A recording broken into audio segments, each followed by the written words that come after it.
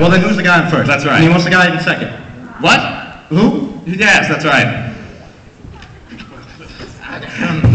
Um, anyways, um, as you know, in last August, uh, the Mississippi River Bridge I-35 collapsed during Minneapolis- Minneapolis's uh, rush hour. Authorities have been investigating the cause.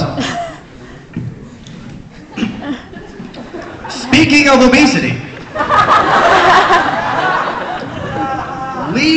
scientists have developed a theory about a virus that leads to obesity in humans. A delicious cream-filled virus.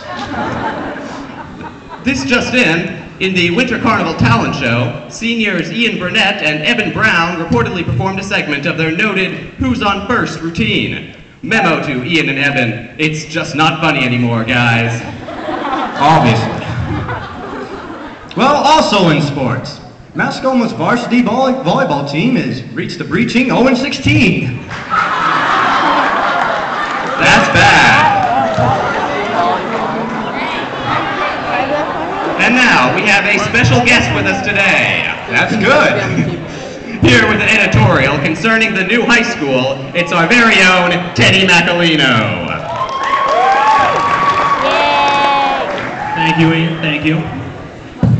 As you may know, due to the inadequate facilities of the current high school, the school board announced their intention to build a new high school and to abandon this fine piece of real estate. Now, this really upsets me. I'll, uh, I'll never forget the first time I came to this high school. It was my freshman year. I was here with my parents on orientation. I met my teachers, went to my classes.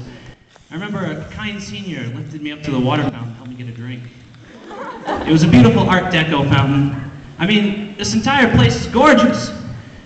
And they don't just have classes here, no, no. They have the finest dining facilities for lunch. They have grade A asbestos floor tiles. Teachers with their very own mobile classrooms. And above all, their very own Kobe Van Beest. I mean, this place is great. If they need more classroom space, why don't they just hold classes at Rainbow's across the street? I mean, it's 50 yards away, they don't do half the business we do up here.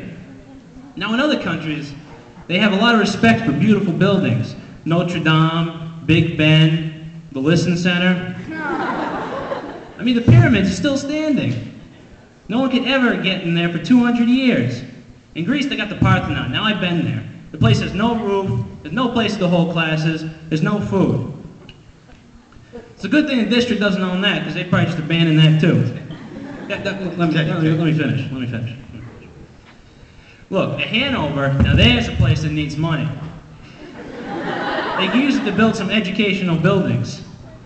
Now they got the hop. The place is 500 years old and it was built by some rich guy for his dead wife. And there's not a single drinking fountain in the whole place. Not one. D- don't touch me, Burnette. And even if there was a drinking fountain, the ushers wouldn't be able to help you get up and take a drink.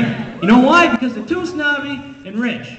They wouldn't dirty their precious little hands on some backwood bumpkin like myself. Shut up! Does the school board care about the hop? No. And another thing, do they care about Grafton? Do they care about Dorchester? I don't think so. They're just appendages, towns they have to include in this little district of theirs. They should make this place a national landmark. But no! No! They'd rather have more classroom space. They'd rather have nicer toilets. I bet they've never even seen this place. I bet they've never even been inside. I bet they've never drank it out of that water fountain. I bet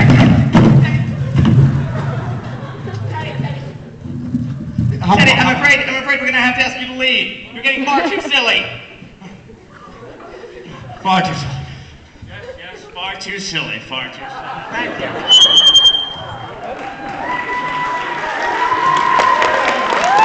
That's the principal.